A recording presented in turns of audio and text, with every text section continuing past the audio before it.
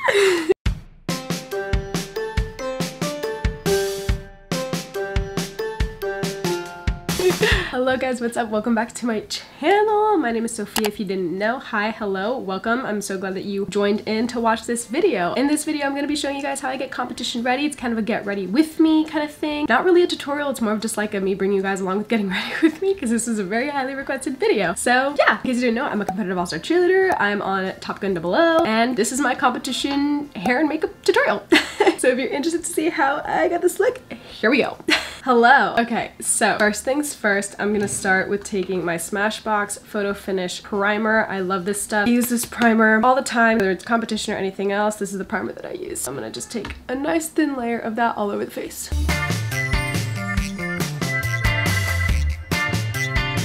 Okay, next, I'm kind of in between tans right now. I normally use the Smashbox Studio Skin 24 Hour Hydra Foundation. This is my favorite foundation. It works best with my Retin-A. I have two different shades, one from when I'm spray tan, one from when I'm not. My spray tan is kind of fading right now, so I'm gonna still use the one for the spray tan, but if anything, I might have to like probably just do like a light layer instead of, normally I do two pumps, so for this, I'll probably just do one. I'm not really sure why my nose is very like peely right now. I'm not sure if you can see that on camera. It's definitely dry, so just ignore that. That's a pretty, pretty solid layer right there. Again, I'm kind of peeling. I'm gonna go in with tweezers after and just like get rid of that situation. but now I'm gonna go in with my concealer. I use the Tarte Shape Tape Concealer. I'm in the shade Light Neutral and I use this exact one whether I'm spray tan or not. I feel like it does the job either way. And we're just gonna go underneath the eyes and then lightly over any problem areas. My problem areas aren't too, too bad and I don't love to put concealer over them because concealer is lighter and it's meant to bring more attention and brighten up areas and we don't want to brighten up our problem areas if that makes sense. So I normally will just take extra foundation and put them over any problem areas that I have. Again, my skin is a little dry so that's unfortunate.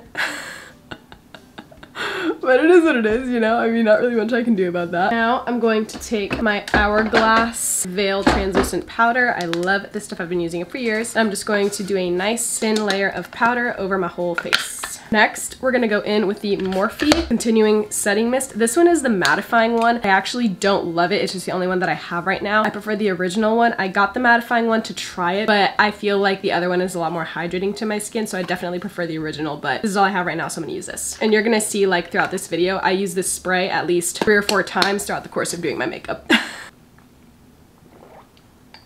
I'm gonna go in with more of my face makeup. I'm gonna take my Hoola bronzer. Love this bronzer. I'm gonna just take a nice big fluffy brush. Get a nice generous amount on there. You don't wanna like do a whole ton, but a generous amount for sure. Basically just go a little on my cheekbone, but I'm gonna go in the direction where it's like in the middle of my cheek to then up by the like top of my ear, if that makes sense. And then I'm gonna go up my whole forehead line. Forehead line? Hairline?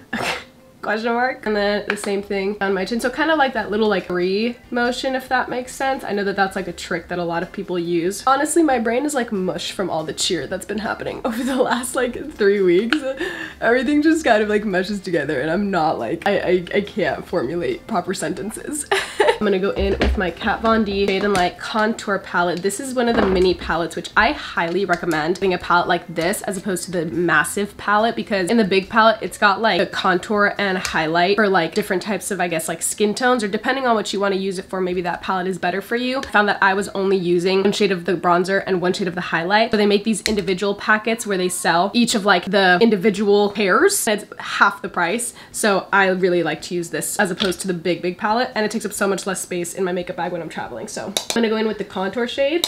I'm gonna do basically go in the same places that I put my bronzer on, but a little more precise and a little heavier. I love contour. Big, big contour gal. I like to be really generous with the hairline because this is where you can tell, like especially when your hair goes up into a ponytail, you can see like the difference in skin tone from like obviously my scalp, which is gonna be a lot more pale than my face makeup.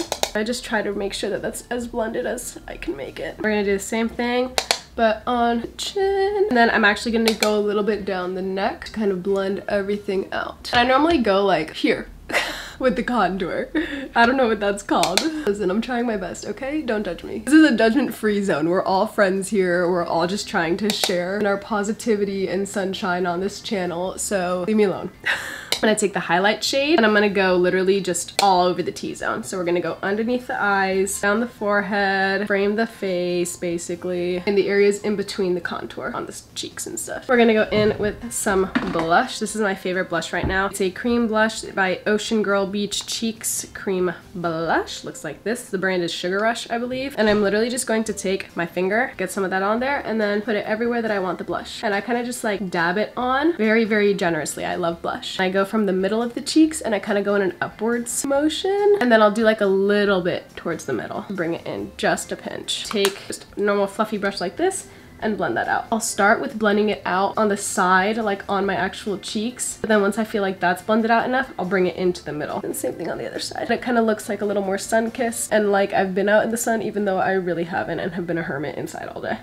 Next, I'm gonna take my MAC Studio Fix uh, oh my god, my MAC Studio Fix powder. And I'm in the shade C3. Take this little kabuki brush. Basically put this over my whole face as kind of like a final layer to like seal in all the face makeup that we've done so far. And then we're gonna go in with our second round of setting spray. Got it in my mouth. cute, cute.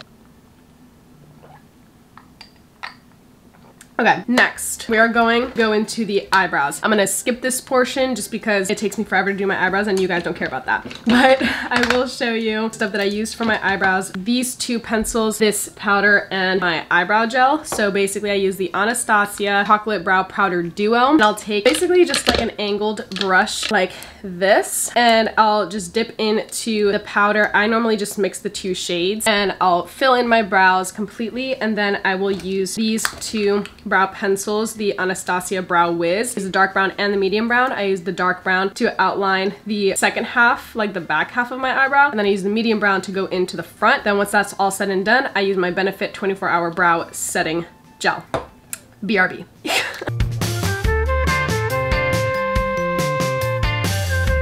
I'm gonna go in with my Urban Decay Eyeshadow Primer Potion. I'm just gonna prime up the eyelids so that we can do the eyeshadow. Before I even get started with the eyeshadow, one of the most important things that I do, and I feel like this is what kind of makes my eye makeup specifically look a lot better than it actually is, take my Beauty Blender with the sharp edge, this edge right here, I don't know if you can tell, but that's a straight line. Get a bunch of the powder onto there, stamp the powder, on the edge of my eye between the corner of my eye and my eyebrow. Now that creates a straight line from the corner of my eye to where my eyebrow hits so that when I put in my eyeshadow, the translucent powder kind of catches anything that would go in that area so that once I'm done with my eyeshadow, I just wipe away this powder and it creates a nice soft but still straight line. And then I'll take the excess and I'll kind of just dab the excess powder underneath the eye to catch any fallout from the eyeshadow in general. Yeah.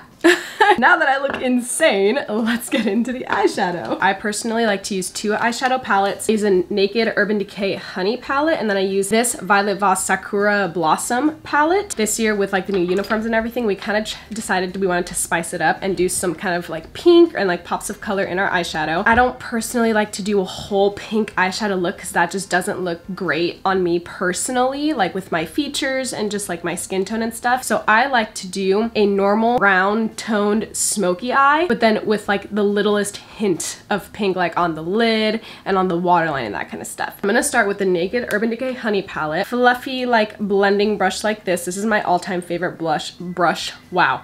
This is my favorite brush for blending out and I'm gonna go into this farthest dark brown in the shade Sting. Take a generous amount on the brush, stamp some of the color on there and then blend it out so that I'm almost blending it in like a V shape because I personally really love a cat eye effect with a smoky eye. So I'm gonna just blend that out to create that cat eye look and blend it out completely. I go about three quarters of the way in. I don't go all the way into the corner of my eye and I'll just be really generous with that. The key is to blend, blend, blend. I'm gonna go ahead and continue blending this out and then the same thing on the other eye. Now I'm gonna go in with with the next shade right next to that in this palette, HBIC. Kind of more of a lighter but shimmery brown. And I'm going to take that on the same brush. And that's what I'm going to use to kind of blend the crease into the full like inner corner of my eye. Now that I've got the whole crease is pretty much taken care of, I'm going to go onto my eyelid. And this is where we move into the pink palette. I personally really like to do a cut crease. I feel like that's what makes the lid, the color on the lid stand out the most. I'm going to use this shade up here called Bubbly, this one right here. And I'm going to put that that on first. For the cut crease, we're gonna take our Tarte Shape Tape and a concealer brush just like this. I'm gonna put some of the concealer on the back of my hand, take a nice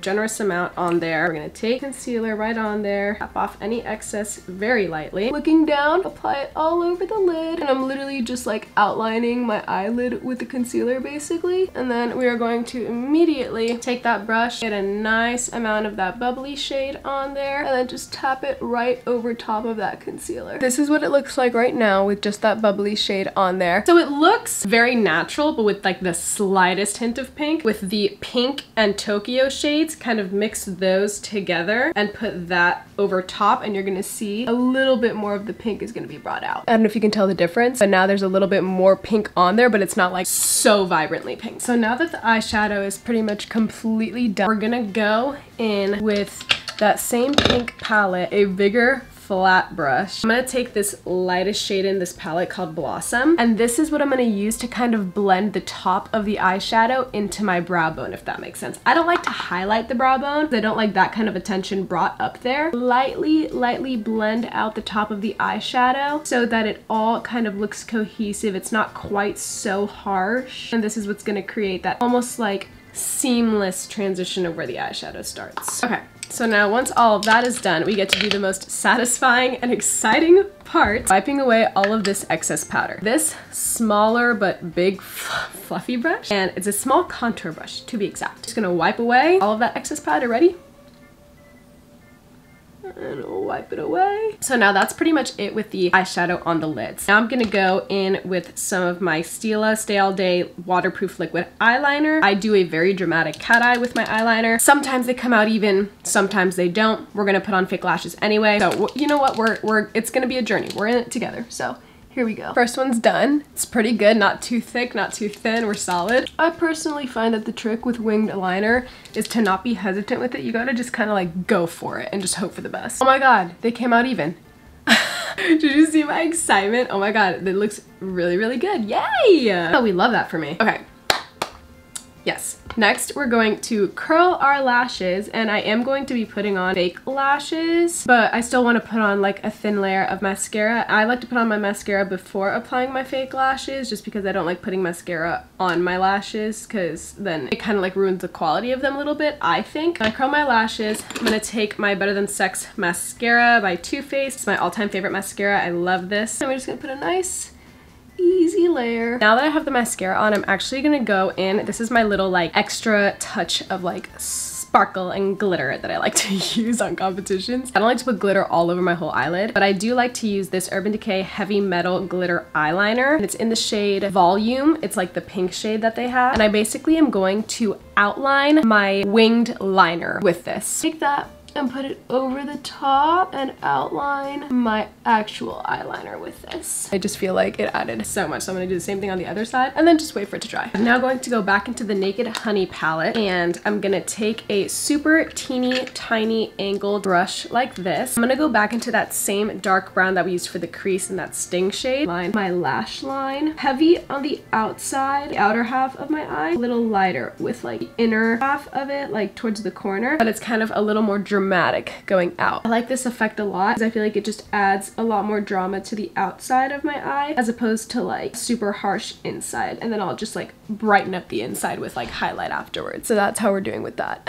I'm pretty much done with the eyeshadow and do not need that anymore. Now I'm going to go in with my Urban Decay 24-7 Glide On eye pencil in the shade Woodstock. This is a pink eyeliner and I'll line my waterline with it on the outer half and then I'll take a white, the same brand and type of eyeliner pencil but in the shade shade Y-E-Y-O, the white shade. I'm gonna use this on the outer corner and this on the inner corner. Eyeliner and everything is done. I'm gonna take my L'Oreal Telescopic Carbon Black Mascara. I love this mascara on a day-to-day -day basis. I'll mix this with my Better Than Sex mascara for like the best, best lashes ever. For competition, I use this one on my lower lash line to really lengthen those lashes so that when I put my fake lashes on, it kind of like looks a little more cohesive. I just wanna say, I find it so unbelievably impressive how much lashes just like transform a look. Like, do you see what I'm saying? Fun fact, I feel like a lot of people struggle with like putting on fake lashes, but it's one of like, for me, I just, I, it's so easy for me to do. I don't know why. Ever since I like started putting them on and stuff. Here's like the, my little tricks to putting on your fake lashes. Only take as much glue as you need. A lot of people put on way too much glue and I think that's like where they go wrong. Put enough so that it covers the band. And then once that band is covered, let it dry a little bit. Don't put it on immediately because it won't stick. The glue has to get a little tacky. We just let it dry for a few minutes. And then I literally just like place it right on my lash line and call it a day. And we're literally just gonna make sure you're looking down when you do this and just plop it right on there. And that's it. Make sure that all of the edges are nice and secured. Let it dry. Try not to blink excessively but like even if you do blink, not a big deal. My number one tip to make sure that like they're secure and they're on, kind of turn to the side and you should be able to see if the edge of the lash is lifted or not. If you don't see it lifted, that means that it's probably glued on properly. And then once it's like fully, fully dry, kind of pull the lash down slightly and I can see the band in the mirror will either stay put exactly and that's when you know, okay, like the lash is like glued on, it's done. Or if you notice it moves slightly, then you need a little more glue in that spot. And then we just take our lash curler and curl your real and fake lashes together. Now I'm going to go back in with the highlight since fake lashes are done. Highlight brush. I use the Fenty Beauty Trophy Wife highlight. I love this highlight. I'm gonna take a generous amount on there. And then we take our setting spray and spray the brush a little bit. Then it'll like go on extra pigmented. And then I just put it right over the cheekbone, nice and generous. And then the same thing on the other side. I'm gonna take a smaller pencil brush almost, just like this. Take the highlight and put it on the tip of my nose, the bridge of my nose, all the way down, and then maybe just like the slightest little bit on the inner corners of my eye. Now that the lash and the highlight on, we're gonna do one last dose of the setting spray. Next is gonna be hair. Now for the hair, we just like do a curled pony and that's pretty much it. Now my hair is pretty much already curled from my twirl. So all that's left for me to do is just put it into the ponytail and do lipstick. So I'm gonna put my hair up and I'll see you guys after. And just like that, we're ready to go.